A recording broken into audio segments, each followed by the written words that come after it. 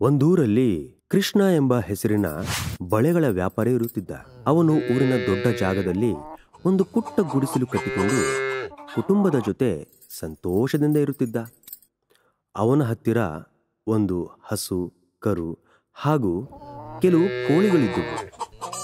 ಕೃಷ್ಣ ಬೆಳಗಿನ ಜಾವ ಎದ್ದು ಹಸು, ಕರುವನ್ನು ನೋಡಿಕೊಂಡು ತಾನು ತಿಂಡಿ ತಿಂದು ಮಧ್ಯಾಹ್ನದ ಊಟವನ್ನು ಕಟ್ಟಿಕೊಂಡು ಬಳೆಗಳನ್ನು ಮಾರುವುದಕ್ಕೆ ಹೋಗುತ್ತಿದ್ದ.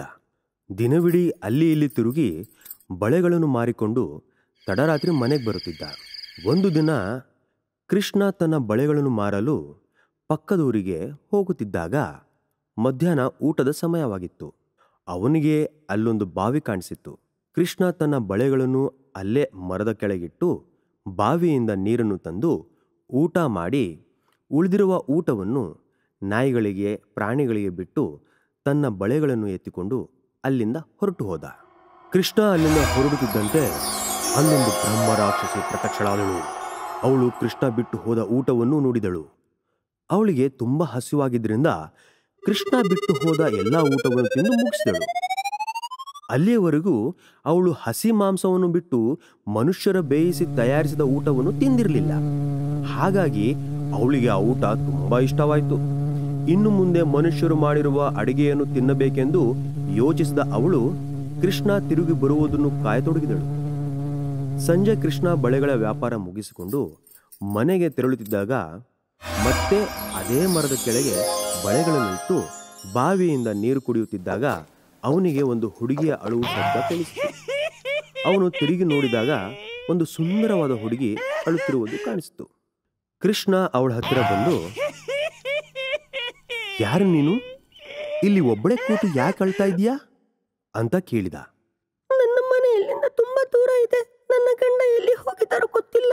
ಬೇಗ ಬರ್ತೀನಿ ಅಂತ ಹೇಳಿ ಹೋದವರು ಇನ್ನೂ ಬಂದಿಲ್ಲ. ಅವರು ಯಾವಾಗ ಬರ್ತಾರೋ ಗೊತ್ತಿಲ್ಲ. ನನಗೆ ತುಂಬಾ ಆಗ್ತಾ ಇದೆ. ನೋಡಿ ಇವ್ರೆ ಅಳ್ಬೇಡಿ. ನೀವು ನನ್ನ ಮನೆಗೆ ಬನ್ನಿ. ಅಲ್ಲೇ ಹೊಟ್ಟೆ ತುಂಬ ಊಟ ಮಾಡಿ ನಿಮ್ಮ ಗಂಡ ಬಂದ ನಂತರ ಅವನ ಜೊತೆ ಹೋಗಿ. ನೀವೇನು ಯೋಚನೆ ಮಾಡಬೇಡಿ. ಬನ್ನಿ. ಬ್ರಹ್ಮರಾಕ್ಷಸಿಗೂ ಅದೇ ಬೇಕಿತ್ತು. ಅಣ್ಣ ನಾನು ಮನೆ ಕೆಲಸಗಳನ್ನೆಲ್ಲ ಮಾಡ್ತೀನಿ. ಆದ್ರೆ ಮನೆ ಹೊರಗಡೆ ಕೆಲಸಗಳನ್ನು ನನ್ನಿಂದ ಮಾಡಕ್ಕಾಗಲ್ಲ. ನನ್ನ ಗಂಡ ಬರೋವರೆಗೂ ನಾನು ಅಲ್ಲೇ ಉಳ್ಕೋತೀನಿ. ನಿಮಗೆ ಯಾವ ಥರದ ತೊಂದರೆಗಳು ನನ್ನಿಂದ ಆಗೋದಿಲ್ಲ. ಸರಿ ಎಂದು ಕೃಷ್ಣ ಮನುಷ್ಯ ರೂಪದಲ್ಲಿದ್ದ ಬ್ರಹ್ಮರಾಕ್ಷಸಿಯನ್ನು ತನ್ನ ಮನೆಗೆ ಕರೆದುಕೊಂಡು ಹೋದ. ಮನೆಯಲ್ಲಿ ತನ್ನ ಹೆಂಡತಿಗೆ ನಡೆದಿದ್ದೆಲ್ಲವನ್ನು ವಿವರವಾಗಿ ಹೇಳಿದ. ಅವನ ಹೆಂಡತಿ ನಿನ್ನ ಹೆಸರೇನು? ಅಂತ ಕೇಳಿದಳು. ನನ್ನ ಹೆಸರು ದಯ್ಯಮ್ಮ. ಮರುದಿನದಿಂದ ದಯ್ಯಮ್ಮ ಕೃಷ್ಣನ ಮನೆಯ ಎಲ್ಲಾ ಕೆಲಸಗಳನ್ನು ಮಾಡ್ತಾ ಇದ್ಲು. ಕೃಷ್ಣ ಹಾಲು ಕರೆದ ಮೇಲೆ ಹಸು ಕರುವನ್ನು ಮೇವು ತಿನ್ಸೋಕೆ ಕರೆದುಕೊಂಡು ಹೋಗ್ತಿದ್ದಳು. ನಂತರ ಕೃಷ್ಣನ ಹೆಂಡತಿಯ ಎಲ್ಲ ಕೆಲಸಗಳನ್ನು ಮಾಡಿ ಮುಗಿಸ್ತಾ ಇದ್ಲು.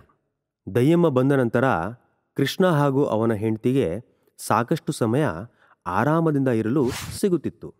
ಹಾಗಾಗಿ ಎಲ್ಲರೂ ಖುಷಿಯಿಂದ ಇರತೊಡಗಿದರು. ಹೀಗೆ ಕೆಲವು ದಿನಗಳು ಕಳೆದವು.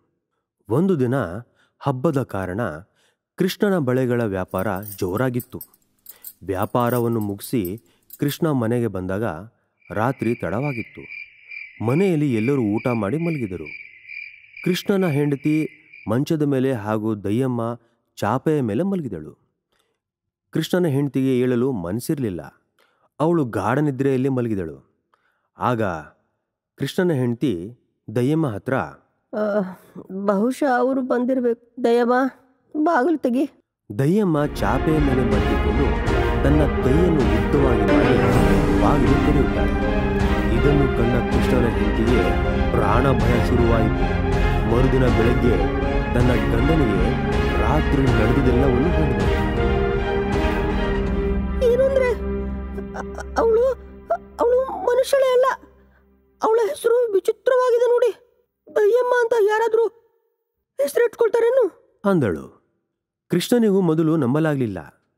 ತನ್ನ ಹೆಂಡತಿಯೇ ರಾತ್ರಿ ಏನಾದರೂ ಕನಸು ಕಂಡಿರಬೇಕು ಅಂತ ಅಂದ್ಕೊಂಡ ಆದರೂ ಒಳಗೊಳಗೆ ಯೋಚಿಸೋದಕ್ಕೆ ಶುರು ಮಾಡ್ದ.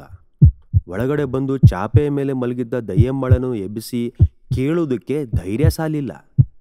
ದಯ್ಯಮ್ಮ ಮನುಷ್ಯಳೋ, ರಾಕ್ಷಸಿಯೋ, ಏನು ಮಾಡೋದು, ಹೇಗೆ ಕಂಡು ಹಿಡಿಯೋದು ಎಂದು ಯೋಚಿಸತೊಡಗಿದ ಮನೆ ಬಿಟ್ಟು ಹೋಗಲು ಹೇಳುವುದು ಮರ್ಯಾದೆ ಅಲ್ಲ. ತನ್ನ ಗಂಡ ಬರೋವರೆಗೂ ಅಲ್ಲೇ ಇರುತ್ತೇನೆಂದು ದಯ್ಯಮ್ಮ ಮೊದಲೇ ಹೇಳಿದಳು. ಅವಳನ್ನು ಮನೆಯಿಂದ ಹೇಗೆ ಓಡಿಸುವುದು ಎಂದು ಯೋಚಿಸತೊಡಗಿದ ಆಗ ಅವನಿಗೆ ಒಂದು ಉಪಾಯ ಹೊಳೆಯಿತ್ತು ಆಗ ಅವನು ದಯ್ಯಮ್ಮಳನ್ನು ಕರೆದು ದಯ್ಯಮ್ಮ ನಮ್ಮ ಮನೆಯ ಸುತ್ತಮುತ್ತ ಬೆಟ್ಟ ಕಾಡು ಸಾಕಷ್ಟಿದೆ. ಅಲ್ಲಿಂದ ಕಾಡು ಪ್ರಾಣಿಗಳು ಮನೆಗೆ ನುಗ್ಗಬಹುದು. ಅದಕ್ಕೆ ಮನೆಯ ಸುತ್ತ ಗೋಡೆ ಕಟ್ಟಿಬಿಡು. ದಯ್ಯಮ್ಮ ಒಬ್ಬ ರಾಕ್ಷಸಿ ಆಗಿದ್ದರಿಂದ ತಾನೇ ಇಟ್ಟಿಗೆಗಳನ್ನು ಮಾಡಿ ಸುಟ್ಟು ಒಂದೇ ದಿನದಲ್ಲಿ ಗೋಡೆಯನ್ನು ಕಟ್ಟಿಬಿಟ್ಟಳು.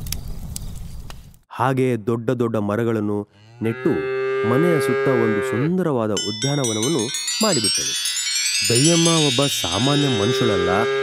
ರಾಕ್ಷಸಿ ಎಂಬುದು ಕೃಷ್ಣನಿಗೂ ಹಾಗೂ ಊರಿನವರಿಗೂ ಗೊತ್ತಾಗಿ ಹೋಯಿತು. ಅವಳನ್ನು ಮನೆ ಬಿಟ್ಟು ಹೇಗೆ ಓಡಿಸುವುದು ಎಂದು ಕೃಷ್ಣ ಯೋಚಿಸತೊಡಗಿದ.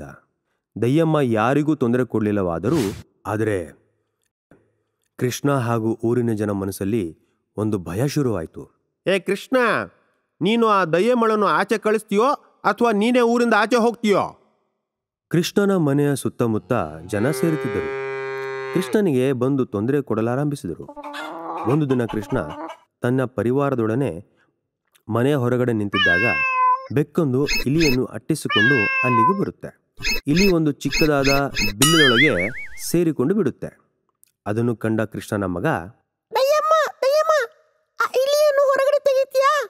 ಅಂದ. ಅದಕ್ಕೇನಂತೆ? ಹಾಗೆ ಆಗಲಿ. ಎಂದು ಹೇಳಿದ ದಯ್ಯಮ್ಮ ಎಲ್ಲರ ಎದುರೇ ಚಿಕ್ಕ ಆಕಾರವನ್ನು ಪಡೆದುಕೊಂಡು ಬಿಲ್ಲದೊಳಗೆ ಹೋಗುತ್ತಾಳೆ. ಇದೇ ಸರಿಯಾದ ಸಮಯ ಅಂದುಕೊಂಡ ಕೃಷ್ಣ ಪಕ್ಕದಲ್ಲಿದ್ದ ಮಣ್ಣಿನಿಂದ ಬಿಲ್ಲನ್ನು ಮುಚ್ಚಿಬಿಡುತ್ತಾನೆ. ಅದಾದ ನಂತರ ಮತ್ತೆ ಯಾರೂ ದಯಮ್ಮಳನ್ನು ಯಾವತ್ತೂ ನೋಡಲಿಲ್ಲ.